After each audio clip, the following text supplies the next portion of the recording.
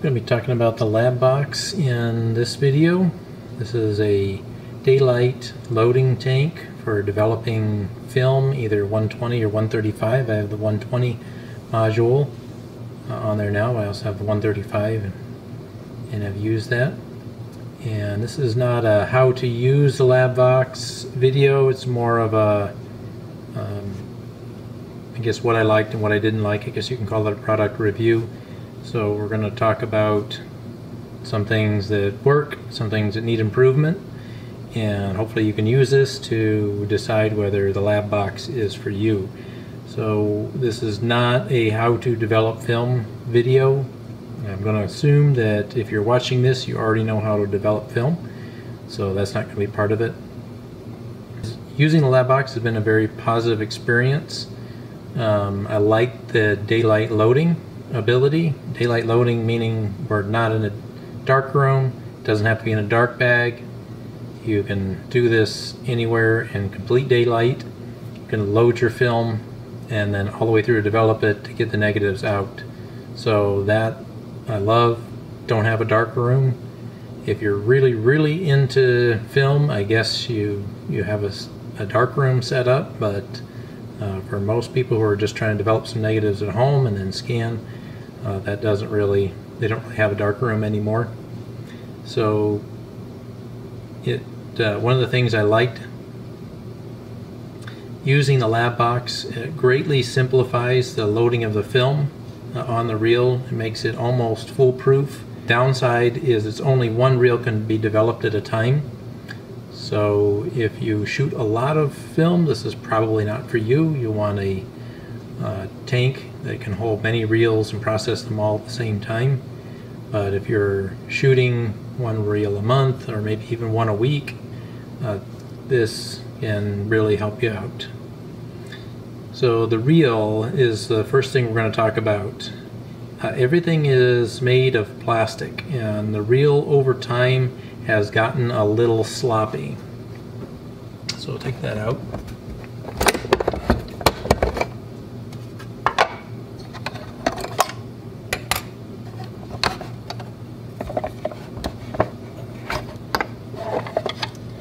So this reel, this is where the film goes. It comes in three pieces. It starts off like this.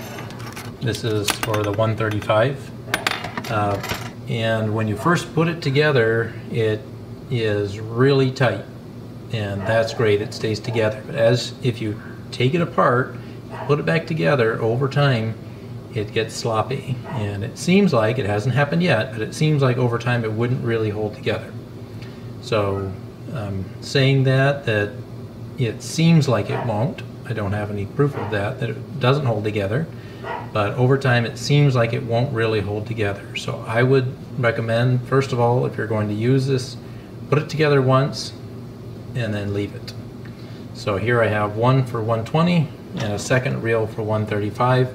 And once I put this together, it'll just stay, uh, once I put this together, it will just stay together to figure out a way to store it uh, without having to take it apart. So that would be the point number one uh, that I would recommend. Figure out a way to put it together, just leave it, figure out a way to uh, store it with the reel assembled. Now when you're assembling the reel for the first time, don't be in a rush. You pull it out, you want to put it together right away, you're like, hey, this just goes together. Uh, it can be assembled incorrectly which is, is disappointing. A little more thought uh, into the design of this. It could have been designed in such a way that the reel and the hub will only go together one way, the correct way. That's not the way it was designed. It could be put together actually a couple of ways incorrectly. So point number two, slow down and pay attention to how you assemble the reel. So I'm going to assemble the 135 reel. The 120 goes together exactly the same way. First thing you want to look for on the hub is an R and an L. L of course is for left, R is for right. So pay attention to that. Hold the L in your left hand and look carefully, it's easy to miss. Next, look for the L on the reel or the R. The L of course goes on the left side, the R on the right side. So the next thing you can put, you can get those switched. You can put the left on the right and the right on the left and your film will not load onto the reel correctly. So you will get your, if you try to develop it that way, you will ruin your film. Now that you have your left and right sorted out, so I have the left reel and the left reel and then the left hub. Those go together, but you have to watch for the arrow. There's a little arrow there. I don't know if you can see that on the video. You have to line that up with the arrow on the hub. Those have to go together. You can put it together 180 degrees incorrectly. And it will go together but you cannot load film that way. So you have to put it together with the arrows pointing together.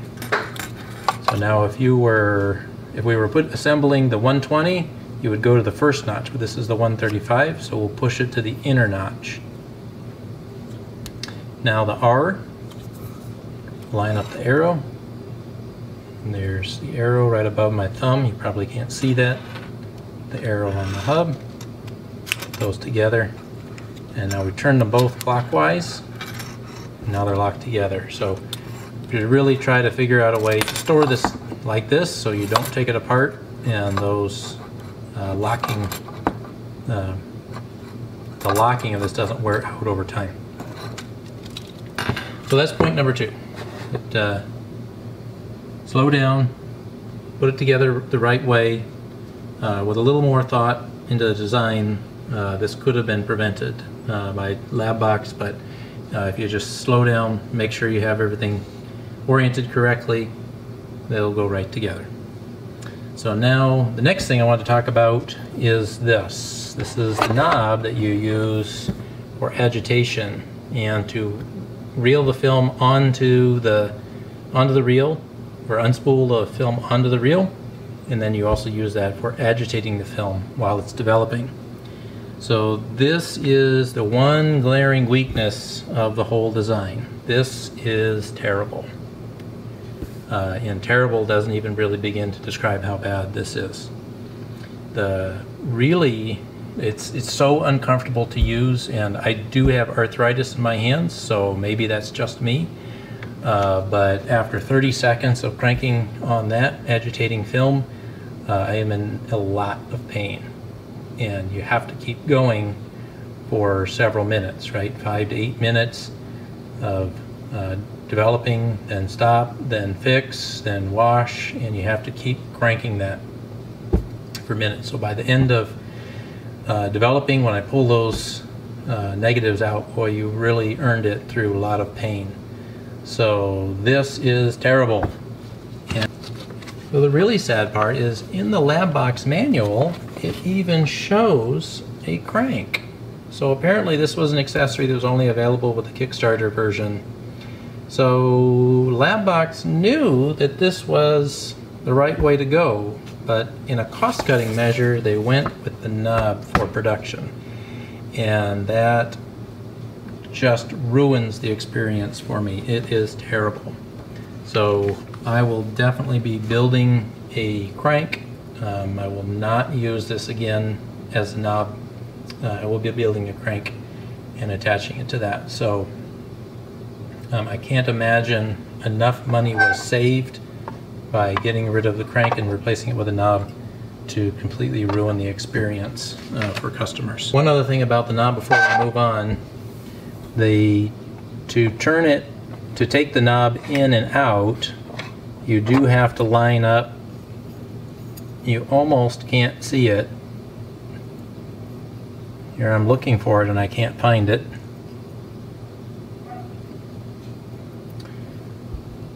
So right here of course you can't see that and I can't see it now either without a magnifying glass. There's a small dot there. And you line that up with the small dot here that's also almost invisible and then you can pull the knob out. There's a little ridge right here that holds the knob in so there's two little tabs, you push that in, turn it, and then the two tabs hold on to this rim as you turn it around. Uh, my tabs have actually broken off because I couldn't find that dot. A little raised ridge here would have made that uh, an impossible task of finding that little dot actually possible because you just feel it with your finger, find the knob, find that little ridge, point it up, pull it out. So um, I wouldn't recommend anybody to break those tabs off on purpose, but if it happens on accident, it's okay, not the end of the world. It still works. You just have to make sure you push it in as you turn it around. I hope it works as I, when I put my crank on here, when I replace this with a crank, uh, hopefully it will still stay in there as I uh, use the crank. But again, all, all of my complaints, I think, are related to this knob. This was very much under-designed. The next thing we're going to talk about is loading the film. So when you load the film, of course, we're using 120 because uh, that's the one we have. That's the 120 module there. Uh, as with any 120 film, you want to make sure you hold it tight. So, because the 120 film will unspool on you and it will expose your negatives. So you want to make sure that is held tight. First thing you do is you put the put the paper through that little slot and then you put that down and then close it. And it holds everything tight. Now what's going to happen, I'm going to take it back out, going to happen, as you see down in, in there, there's a little, maybe you can see that, uh, there's a little cylinder that's going to capture the film. As you unspool the film, by pulling the backing paper out, the film will go down in there and then this turns and then protects the film. So the film now is in the dark. So it's in its own little dark room. And that keeps the film from being uh, exposed as you move it on to the next step. So one thing you want to keep in mind, as you, as you unroll the film, you want this to be pointing upward, this knob to be pointing towards the triangle. I've seen that demonstrated actually incorrectly where people turn it down before they unspool the backing paper. That's actually incorrect, according to the LabBox uh, instructional videos. So let's try this again.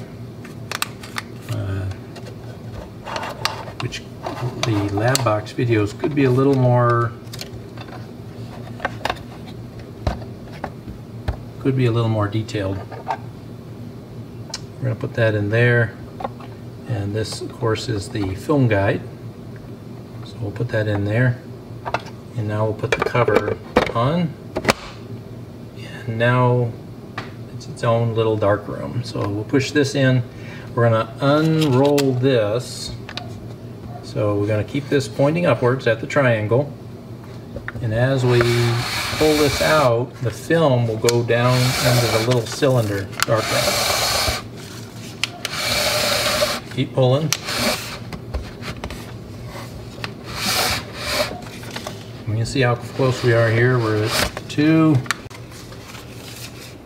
So we pulled the paper out and we've gotten to the point where we actually feel a little resistance here. The film is now down in the cylinder, but it's still taped on one end to the backing paper, and that's the little resistance. So don't just keep yanking on this and then you pull the backing paper off the uh, pull the film off the backing paper and the film unspools in here. Stop when you feel that little resistance. Another clue that you're at the end, you see frame number one on the backing paper. So stop right there. You can tear this off if you want. Don't have to, but you can. We're going to go ahead and do that. Just get this out of the way. Um, but you don't have to do that. Now turn to protect the film. So we turn the dial to the square. The film should be down in that cylinder and completely protected. It's in a dark room now.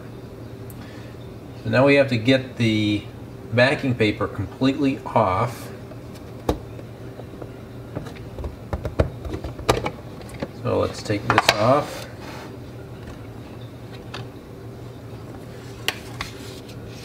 And there's the tape. So we just peel that off.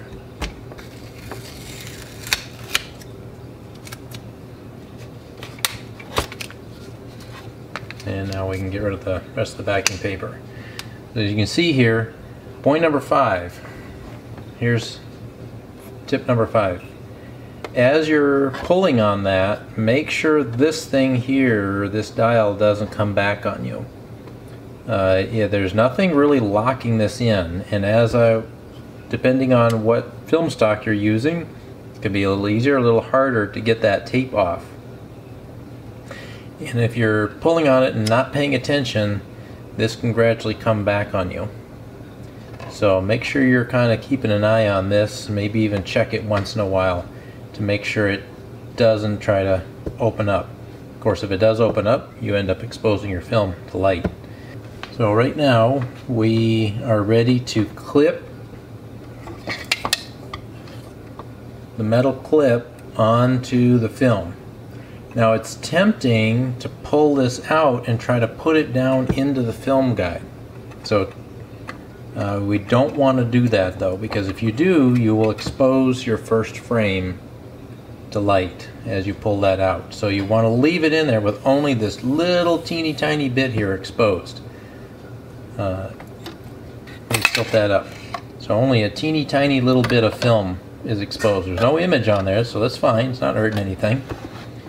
But you want to take this and clip it onto the center.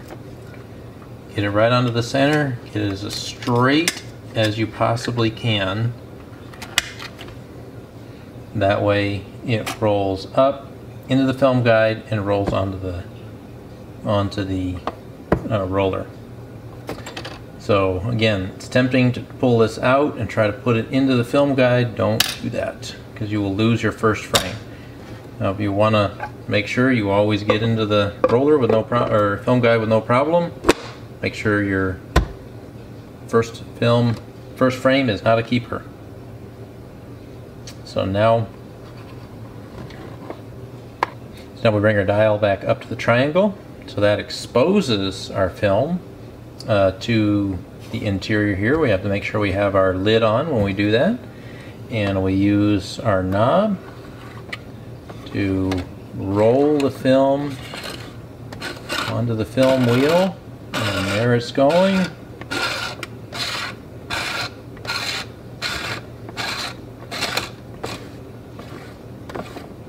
And now we're completely rolled onto the film wheel. So at this point, so that's uh, point number six was to uh, make sure you clip the metal clip onto the center, but don't pull it up out of the, and try to feed it into the film guide. Just let the film guide do its job.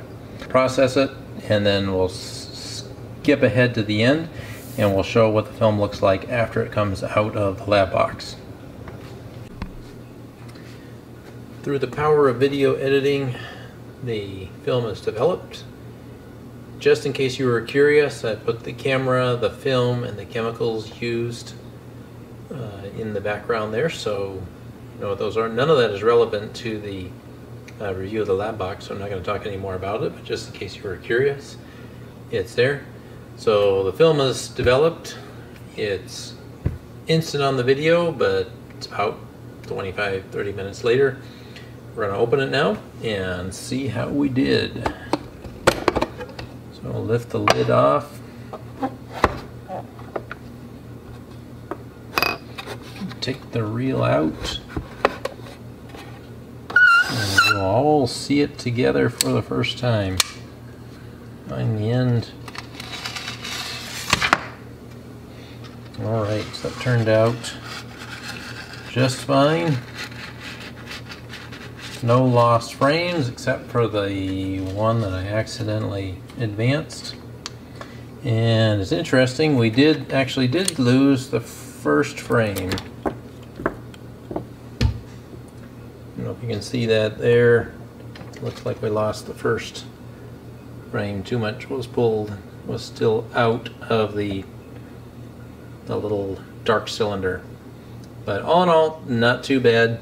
Um, the the reel process actually is pretty foolproof. I did have one reel where, or one roll of film that didn't get on the reel correctly, and so the film, some of the reels were touching, and so I lost about half the frames that way. But it could, it only happened the one time, and it could very well have been operator error. It was when I first, first, first got the uh, the lab box. So anyway, I'm gonna get this hung up to dry. The film is hanging up to dry now. I did look at that first frame a little more closely. I did lose the first frame. It was due to processing. So it was just uh, exposed uh, just at the edge. So it just didn't quite get down into the dark cylinder far enough to protect it. So I could probably scan it, crop it, and save some of it. But something to keep in mind, I guess that's tip number seven.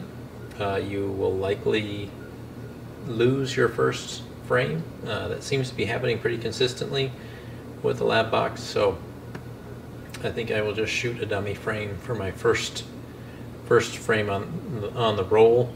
I lost another one because the Ricohflex doesn't have automatic film uh, advanced stop and I just rolled too far past a frame so ended up losing two frames on that roll so it was a 10 shot roll. Anyway, I hope this was helpful. If you liked this video, please let me know down in the comments. If you didn't like this video, go ahead and let me know that too. So if it was informative, uh, if it was educational, uh, that's great. If it wasn't, I hope it was at least entertaining. So have a great day.